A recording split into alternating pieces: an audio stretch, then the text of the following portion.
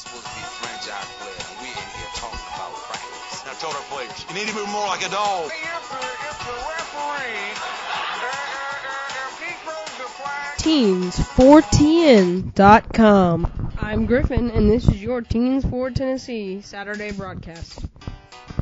The Vols have a new commit for the 2013 recruiting class in Devondre Campbell, a junior college linebacker. In the NBA playoffs, the Boston Celtics beat the Atlanta Hawks last night in overtime. Rajon Rondo had a triple double. The Celtics now lead the series 2 to 1. The Philadelphia 76ers beat the Derrick Roseless Chicago Bulls. They now lead the series 2 to 1. The Oklahoma City Thunder beat the Dallas Mavericks, taking command of the series 3 to nothing.